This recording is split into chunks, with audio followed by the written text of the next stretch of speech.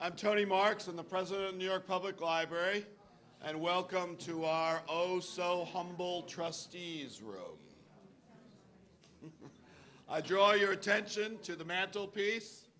The City of New York has erected this building for the free use of all the people. So you are welcome, as are all the people, and we are honored to here be hosting and celebrating the Helen Bernstein Book Award for Excellence in Journalism, this uh, incredibly prestigious award uh, that is so important to the journalist community, to recognizing the amazing journalists uh, who do amazing work uh, in drawing the public's attention uh, to important current issues, events, and policies. I'm, of course, particularly delighted to again welcome the Bernstein and Feely families today, whose steadfast support has made this uh, important award possible. Uh, I hope you'll join me in, uh, in welcoming one of the library's greatest advocates, uh, supporter, Helen Bernstein Feely, who is here. Helen? And her family, her daughter Kathy. Where's Kathy? Where'd you go? There you go, Kathy. And her son Jim. Both, where's Jim? Both here tonight. There you are. Um, Helen and I were just uh, chatting, reminiscing. Uh, amazing her own uh, career, uh, her own dedication to journalism, a family that goes back to uh, Leavenworth that has something to do with the Wollman Rink, uh, H&R Block. I mean, it's just unbelievable, the stories uh, embedded in this family and the stories that this family has told. And that this award now helps uh, others, uh, recognizing others for telling. Um, we gather in this great room, um, bringing together uh, an incredible number of journalists, uh, former uh, prize winners, writers, academics, library trustees. I don't know whether the Rainers and and Joan Hardy Clark have gotten here yet, but if not, they will be here shortly. Um, and of course, we are uh, joined tonight by uh, four of this year's finalists Katherine Boo, uh, Rajiv Chandrasekaran, David Sanger, and Tom Wilber. And it's wonderful to have you all here.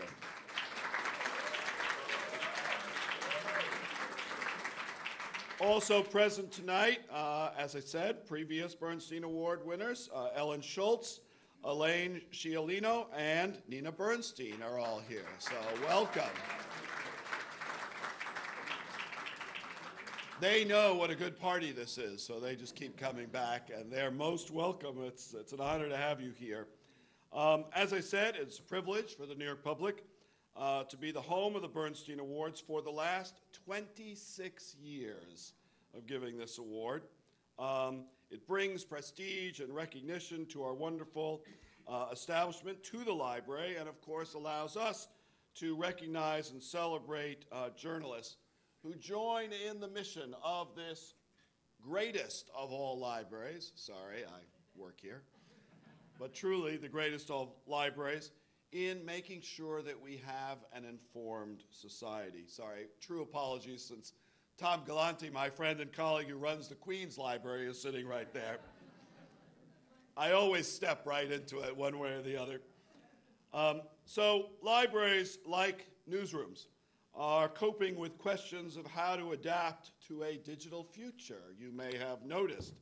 Um, the, uh, the library, in fact, uh, just recently, uh, just to give you a quick vignette, is um, uh, let's see, a couple weeks ago we announced uh, that the New York Public, working together with Queens and Brooklyn, have made an unprecedented move so that all of the big six publishers are now selling ebooks to libraries to lend so that people who can't afford books can get them in electronic version. The technology of access will now be accessible to all, and we did that making sure that publishers and authors would be paid a fair price for their work. We are all in this together. and just to show that you know we go from the modern to the shall we say somewhat less modern just a couple hours ago in this very room it looked a little different a little less party like um, we had a ceremony to announce uh, that the library's copy, one of the 14 original copies of the Bill of Rights that has not effectively been seen in public uh, for 100 years while we have kept it safe, other than at the bicentennial and a few other moments, will now be made on permanent view uh, here at the New York Public Library as well as in Philadelphia.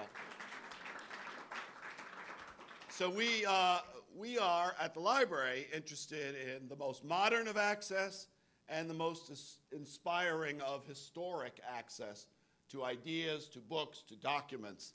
Um, and in that, we have in common with those who are uh, represented here tonight and the work that you do. Um, the dedicated, passionate, accurate, strong reporters uh, who work in the trenches and dig deep to bring the public the information that they need to be an informed citizenry. We are partners with you in that, and we are eager to make sure that our business model works going forward so we can continue to do what we do.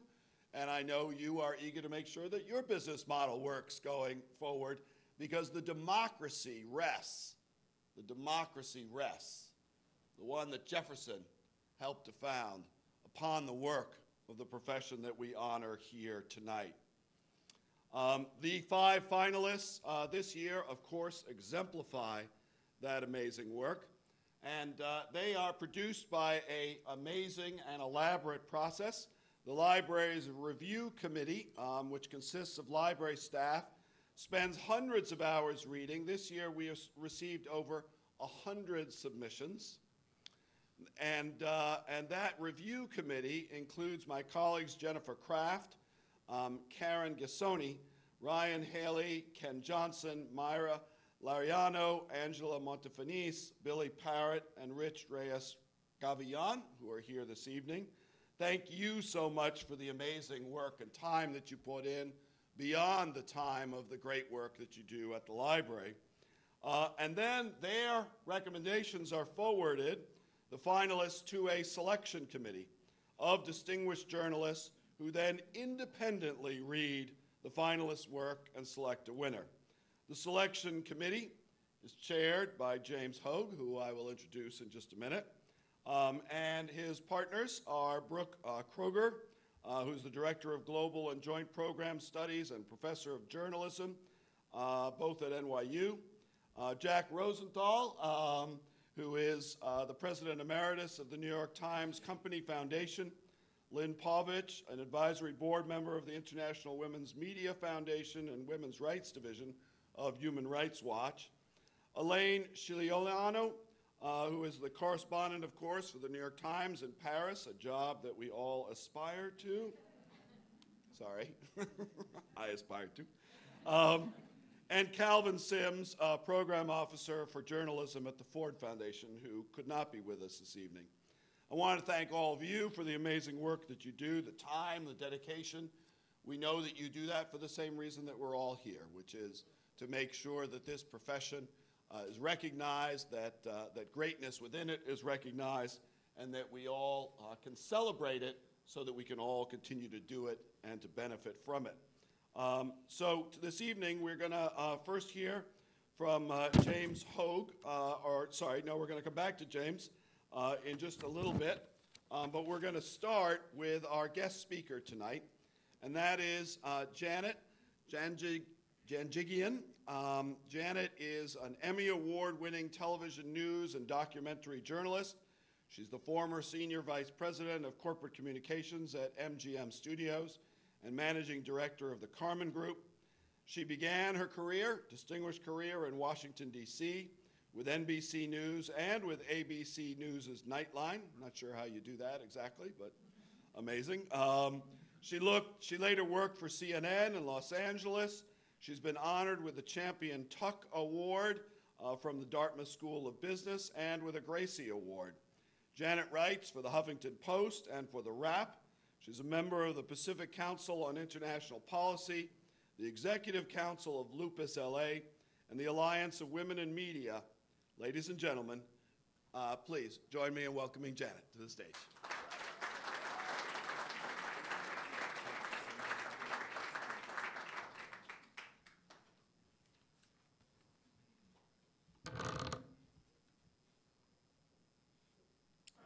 Thank you, President Marx, for that very lovely, generous introduction, and I'm